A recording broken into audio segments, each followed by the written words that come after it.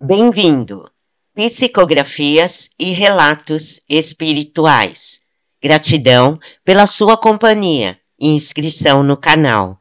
Se o conteúdo lhe agrada, lhe peço humildemente que deixe o seu gostei. Do livro Se Não Fosse Assim, Como Seria? de Vera Lúcia Marinzec de Carvalho, ditado pelo espírito de Antônio Carlos. O C do espírito de Iraci. Soube que eu me chamava Iraci quando fui para a escola, ao ser matriculada. Fui criada por uma mulher que eu pensava ser minha avó materna, Zélia, e todos chamavam pelo apelido Dona Azul. Sempre morei numa favela, num aglomerado de casinhas e barracos. O lugar era conhecido pelo nome de um país que estivera em guerra e não adiantou receber o nome de um papa. Todos chamavam o lugar pelo antigo nome. Nossa casinha era arrumada e muito limpa. Tinha dentro três repartições: sala e cozinha, um quarto e banheiro. Havia água que era recebida por uma mangueira de borracha que enchia uma caixa. Vó Azul foi aos poucos arrumando seu lar ela sempre morara ali. Quando vovó foi me matricular, assustou-se e justificou-se que, por não enxergar direito, isto era verdade, não conseguia ler meu registro e que, para ela, eu me chamava Araci. O fato é que ela era analfabeta. Assim, na escola, eu era Iraci e para o resto conhecido e vizinhos, Araci. Sempre penso que desde nenê, vovó Azul me levava para esmolar. Tínhamos horários para sair. Ela vestia a si mesma e a mim de forma simples, e saíamos pedindo esmolas. Recebíamos mais do que necessitávamos. Por isso, nossa casinha era arrumada e nada de essencial nos faltava. Vó Zu me tratava muito bem, cuidava mesmo de mim. Foi com dez anos que descobri que ela não era minha avó. Ela não tivera filhos. Contou então que escolhera esta profissão. Chamava esmolar de trabalho. Desde pequena, depois adulta, alugava crianças para pedir era, como ela dizia, um negócio. Ela saía com crianças, pedia esmola, as crianças a chamavam de mãe, depois de vó, e no final do dia ela dava uma porcentagem do, do que ganhava para as mães. E de fato eram pobres, miseráveis. Vó Azul tratava bem as crianças e elas a amavam, até depois de adultas. Elas gostavam dela. Ela me alugou e foi ficando comigo. Um dia estava com um ano e oito meses. Minha mãe foi embora e nunca mais voltou. Ela se mudou para outra cidade com um homem. No meu registro tinha somente o nome de minha mãe. Era estudiosa, amava estudar, era uma das primeiras da classe. Minhas notas eram excelentes. Vovó fez questão de me matricular numa escola, longe do lugar que morávamos. Foi no terceiro ano que os colegas ficaram sabendo que minha avó e eu pedíamos esmola. Eles riram de mim.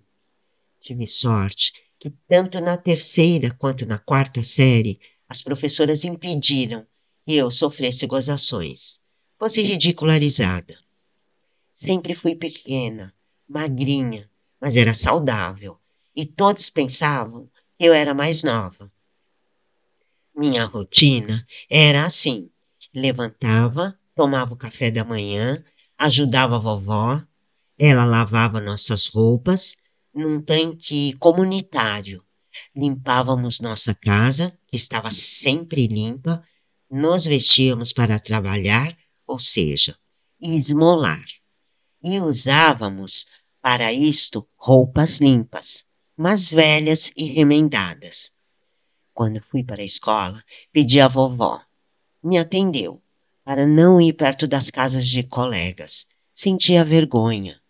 No período de aulas, vovó fazia o serviço de casa sozinha. E quando voltava da escola, íamos esmolar. Estava com 10 anos e vovó alugou mais duas crianças para se juntarem a nós. Aprendi com ela a mendigar. Muitas vezes fiquei em frente a locais onde vendiam material escolar e pedia. Assim, tinha cadernos, livros e estojo, que eu cuidava com muito carinho. Meu sonho era continuar estudando, ser professora, mas foi somente um sonho. Com mais idade, passei a fazer o serviço de casa para vovó ia com duas a três crianças esmolar.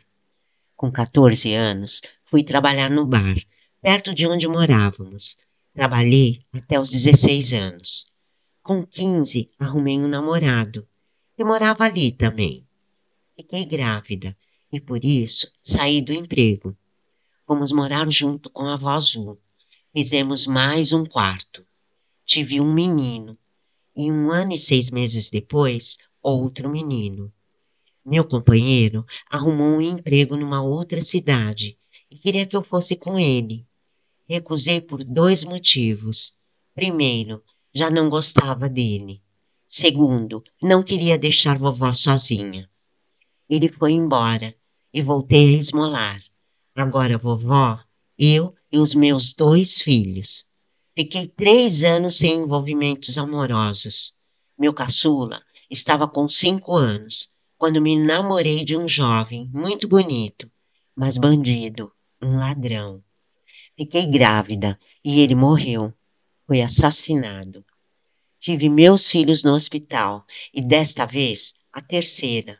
Passei muito mal. A criança estava sentada. O médico fez uma cesariana. Usei o que sempre fizera. Roguei, pedi, implorei, e o médico fez a laqueadura. Menti que era meu sexto filho. Assim, tive somente três filhos. A última foi uma menina. Vozu estava velha, quase não aguentava mais esmolar. Eu ia com meus filhos. Como ela cuidou de mim, eu cuidei dela. Ela desencarnou e eu senti muito.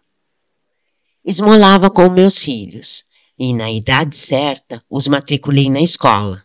E para eles não sentirem o que eu senti, as gozações, matriculei-os numa escola mais distante e não os levei mais para pedir esmolas. Aluguei então crianças. Meus dois filhos, quando adolescentes, um com 17 anos e o outro com 14, foram morar com o pai. Ele ia de vez em quando para vê-los, levava presentes e nos dava dinheiro. Contou que, logo que se separara de mim, arrumara outra companheira e que se separara dela. Ia levar os filhos. Tinha uma casa boa e ia ensiná-los a trabalhar. Meus dois filhos foram embora. Por três vezes os dois foram me visitar e na segunda foram de carro, que era deles. Os dois trabalhavam com o pai na construção civil e ganhavam bem. Depois da terceira visita, escreveram que iam se casar e que seria difícil irem me ver. De fato, não voltaram e escreveram apenas algumas vezes. Minha filha ficou comigo Esmolou comigo até ir para a escola. Matriculei-a longe do lugar que morávamos. Ela ficou mocinha, muito bonita. Se parecia com o pai. E se tornou prostituta. Ainda bem que ela não teve filhos. Eu não queria que ela tivesse este procedimento. Ela afirmava ser uma profissão. Ia de vez em quando me ver e se preocupava comigo. Continuei a esmolar. Ficou mais difícil fazer o que me acostumara, bater de porta em porta. Nesta época, tinha assistência social da prefeitura, que cadastrava os mendigos. Eles iam às casas ver o que acontecia. Fingi-me de doente, que estava acamada. Recebi alimentos. Na segunda vez que a assistente foi me visitar, eu estava esmolando. Então ela concluiu que eu não precisava e parou de me ajudar. Minha filha, se eu pedia, me dava dinheiro, mas continuei a esmolar. O que quero contar é que abusei. Aprendi com Vozu a fazer isto. Trabalhei, mas por pouco tempo. Poderia ter continuado, ter voltado a ser empregada no bar, após ter tido meu filho, ou fazer faxinas, ter tentado outro emprego. Escrevia bem e sabia matemática. Mas, infelizmente, esmolar dava mais e era mais fácil. Vozu fazia disto uma profissão, um trabalho. Dizia: Vou sair para trabalhar. Vestia-se diferente. Afirmava que era para comover, para enganar.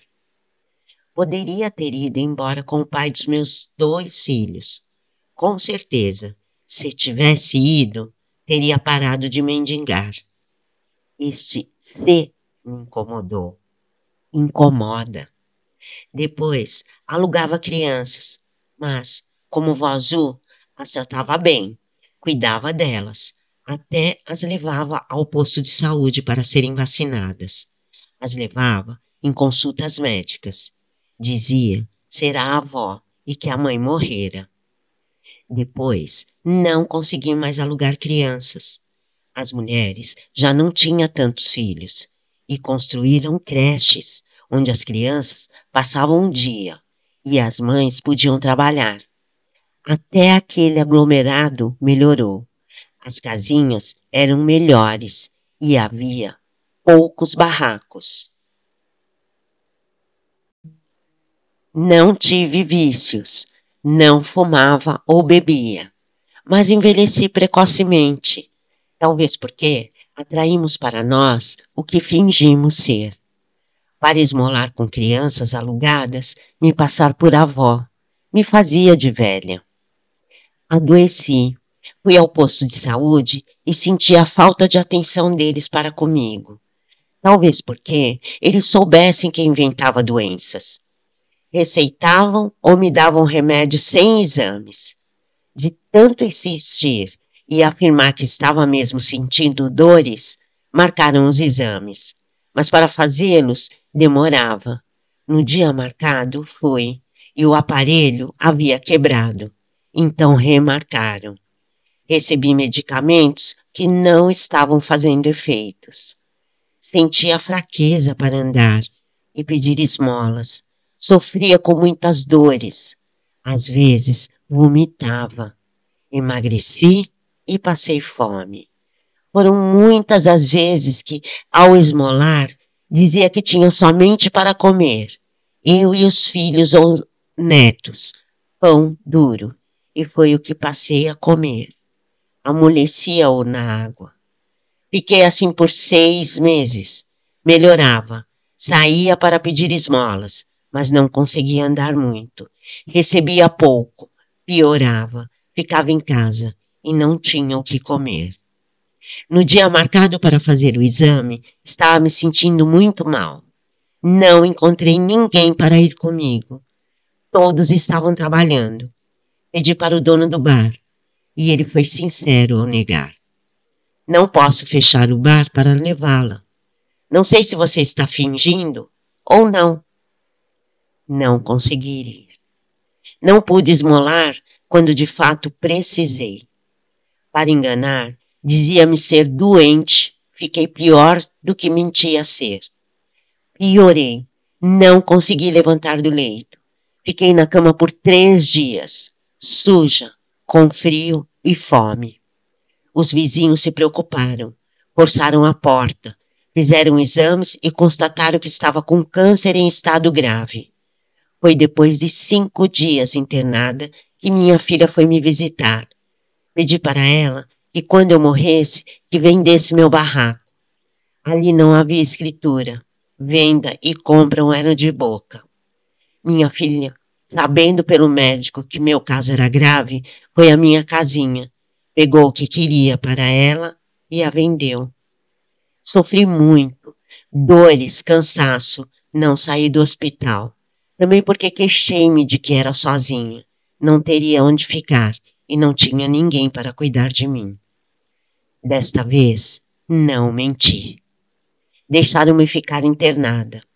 Desencarnei e a equipe de trabalhadores desencarnados, socorristas do hospital, me socorreu. Aceitei agradecida. Uma coisa que sempre fiz, aprendi, foi ser grata. Fiquei abrigada. Entendi que meu corpo morrera.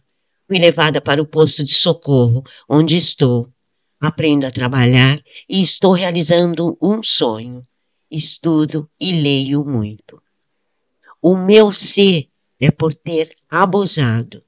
Sim, abusei das pessoas que me deram esmolas. Desde quando estava com o azul, tínhamos mais do que necessitávamos. Enganando, recebíamos esmolas em excesso. Tive oportunidade de mudar e escolhi continuar. O ser me dói, machuca, abusei e quando de fato precisei, não tive. Adoeci, passei fome, aconteceu comigo o que falava. Se não tivesse enganado, fingido, com certeza não teria este remorso. Agradeço por escrever. Espero ter ficado bom. Na escola, sempre fui boa em redação. Iraci ou Araci.